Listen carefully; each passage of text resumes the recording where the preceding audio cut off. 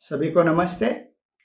आप सभी के सामने मुझे गवाही बताने के लिए मौका मिला इसलिए यीशु मसीह को मैं धन्यवाद देता हूँ। मैं सेवा करता था। आ, सेवा करते समय मेरे हाथों से पाप हो जाता था। तब मैं एक क्षमा माँगता था।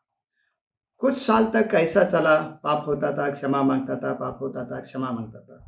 लेकिन बाद में मेरे मन में आ, अभी अभी सोच विचार आ रहा था कि अगर मैं पाप करेगा और क्षमा मांगने से पहले यीशु मसीह आ जाएँगे तो मैं कहा जाऊँगा? मन में आता था, मैं नरक नरक में ही जाऊँगा। तो मुझे बहुत डर लगता था, क्या करूँ मैं? अगर इतनी सेवकाई करने के बावजूद भी मैं नरक में जाऊँगा तो क्या फ़ायदा है? तो बात मैं ऐसा ही सोच विचार में था, चिंता में था तो एक आ, कुछ दिन के बाद मुझे बाइबल सेमिनार का एक लिंक आया और मुझे बताया गया कि आप ज्वाइन हो जाओ। मैं ज्वाइन हो गया। और बाइबल सेमिनार में पास्टर पार्क वचन सुना रहे थे।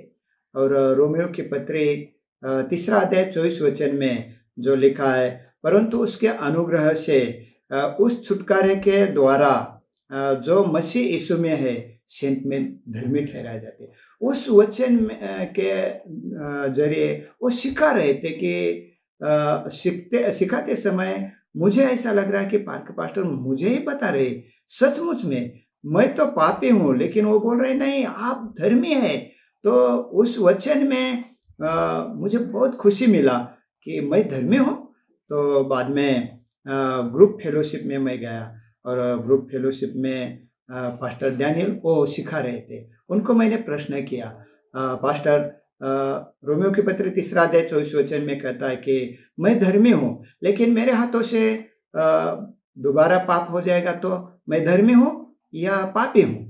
तो उन्होंने इब्रानियों की पत्री दसवा अध्याय, बारह वचन में, चौदह वचन में और सत्रह वचन में, तीन वचन में लिखा है कि मैं सर्वदा के लिए सिद्ध कर दिया है।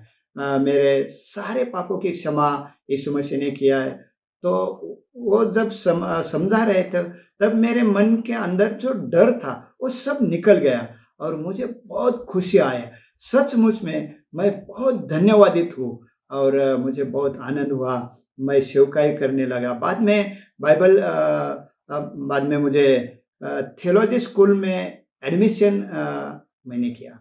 तो एडमिशन करने के बाद मुझे उसमें से तो इतना सीखने के लिए मिला कि मेरा मन जो है, मन और परमेश्वर का मन क्या है तो उसके बारे में मुझे बहुत जानकारी मिला और सच्चाई मुझे मालूम पड़ी। सचमुच में अगर मैं थियोलॉजी स्कूल में अगर एडमिशन नहीं लेता तो मुझे कुछ इतना जानकारी नहीं मिल सकती थी। मैं सेवा भी कर नहीं सकता था इतना। लेकिन आज मुझे सेवकाई में भी बहुत खुशी है। सेवकाई में बढ़ोतरी हो रही, बहुत लोग उद्धार पा रहे इसलिए मैं बहुत धन्यवादित हूँ। और बाद में जब भी सी की मीटिंग रहती है, तब भी मुझे बहुत खुशी और आनंद मिलता है, मैं ज्वाइन होता हूँ। सुसमाचार कैसा सुनाना, सुसमाचार सुनाने के लिए मुझे बहुत आनंद होता है। इसलिए मैं धन्यवाद देता हूँ